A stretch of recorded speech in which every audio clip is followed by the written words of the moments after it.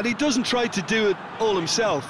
He's very good at always being aware of the options that are... Shapes to shoot! There it is! What a start, and what a contribution from the main man. I had a feeling he might do something, given his reputation, but to do it like that, absolutely brilliant. I wasn't expecting that.